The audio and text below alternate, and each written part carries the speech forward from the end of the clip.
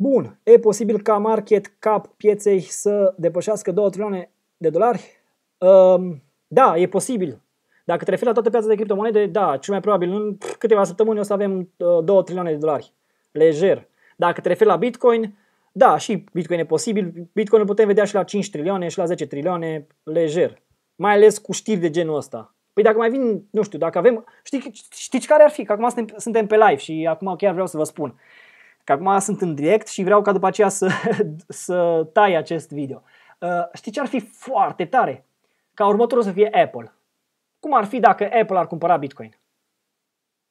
Gândiți-vă la asta. Știți câți bani are Apple în, uh, în cash? Stai să vă arăt. Și suntem pe Apple. Hai să vedem câți bani au cash acești indivizi.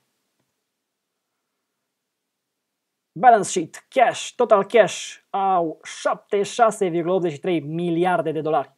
Dacă Apple investește ca și Tesla undeva la 10% din banii ăștia în Bitcoin, vor intra undeva la 7 miliarde de dolari în Bitcoin, dacă se va întâmpla chestia asta. Adică de 7 ori mai mult sau de 6 ori, 5 ori, ba nu, cred că de 5 ori mai mult decât a investit Tesla.